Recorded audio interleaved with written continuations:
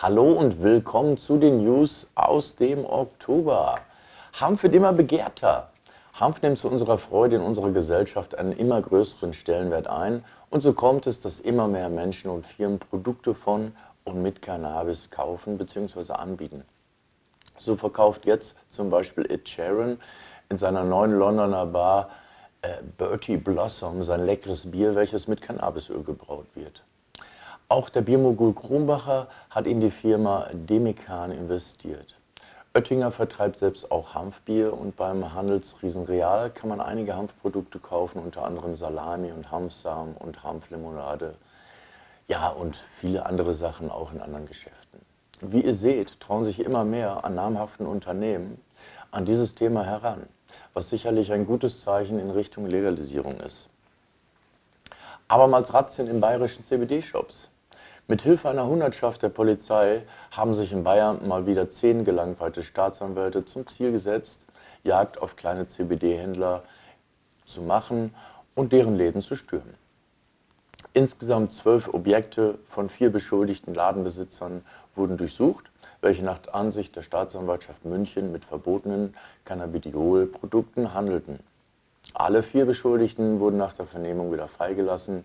Die sichergestellten Waren wurden, äh, werden nun im Labor untersucht, um vielleicht festzustellen, dass sie einen Grenzwert eventuell überschreiten. Wir finden es weiterhin grausam, was hier passiert. Bald aber sollte es erste Gerichtsurteile geben, welche hoffentlich Klarheit für Verbraucher und Händler bringen, was uns direkt zum nächsten Thema bringt. Braunschweiger Hanfbar vor Gericht. Im Braunschweiger Landgericht spielt sich eine Schmierenkomödie sondergleichen ab. Die beiden ähm, Inhaber der Hanfbar, Marcel und Badia, müssen sich in einer äh, Justizposse verteidigen, die peinlicher nicht sein kann.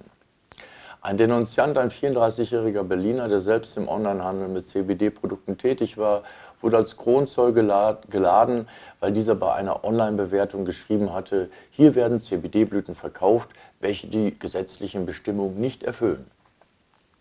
Anscheinend war diese Bewertung überhaupt erst ein Grund, warum die Staatsanwaltschaft tätig wurde und nicht vorher, wie fälschlich behauptet, Kinder hätten dort Cannabis gekauft. Nun behauptet auch noch ein Gutachter der, äh, des LKAs, man könne sieben Joints in zwei Stunden rauchen, um einen Rausch herbeizuführen, also von zum Beispiel Hanftee. Einem Zuschauer wurde bei der Einlasskontrolle sogar legales CBD-Öl abgenommen, welches jetzt im Labor untersucht wird. Also im Großen und Ganzen eine wirklich amüsante Sache, wenn es dabei nicht um Kopf und Kragen der beiden Inhaber gehen würde, die bereits ankündigten, sich notfalls durch alle Instanzen zu klagen.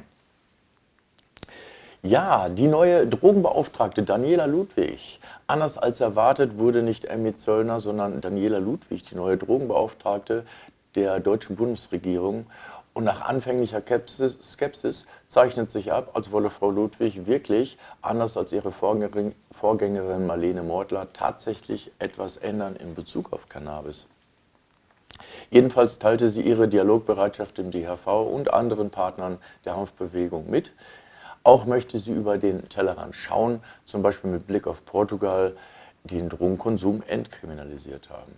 Wir sind gespannt, wie sich das weiterentwickelt und ob sie wirklich bereit ist, an der Drogenpolitik Deutschlands etwas zu verändern und vor allem, ob die CDU-CSU in Gänze auch mitspielt. Urteil in Düsseldorf. Medizinisches Cannabis am Steuer. Das Verwaltungsgericht in Düsseldorf hat am Donnerstag entschieden, dass Autofahren unter Einfluss von medizinischem Cannabis erlaubt ist. Als bundesweit erstes Verwaltungsgericht haben die Düsseldorfer Richter dieses Urteil gefällt. Grund ist die Klage eines Mannes aus Dormhagen, der nach äh, Fahrt unter Drogeneinfluss seinen Führerschein verloren hatte. Weil er das Cannabis aus medizinischen Gründen konsumiert, wolle aber jetzt trotzdem seinen Führerschein haben. Die Richter entschieden, der Kläger muss seine neue Fahrerlaubnis bekommen. Das Gericht bestätigte die Ansicht der Verwaltung, dass der Konsum des Klägers und seine Tauglichkeit zum Autofahren nicht voneinander zu trennen seien. Jedoch bestätigte das vorgelegte psychologische Gutachten, dass der 35-Jährige auch unter dem Einfluss von Medizincannabis dazu in der Lage sei, Auto zu fahren. Ob Konsumenten von Medizincannabis eine Fahrerlaubnis bekommen, sei grundsätzlich davon abhängig, ob die Einnahme unter ärztlicher Aufsicht geschehe und keine Auswirkungen auf die Leistungsfähigkeit der Patienten festzustellen sei, so das Gericht. In diesem Sinne, fahrt vorsichtig oder benutzt sogar die öffentlichen Verkehrsmittel, gerade in Ländern wie zum Beispiel Österreich, wo dieses Thema noch nicht so eindeutig geklärt ist. Lasst eure Kommentare da. Bis zum nächsten Mal bei den Cannabis News. Auf Wiedersehen.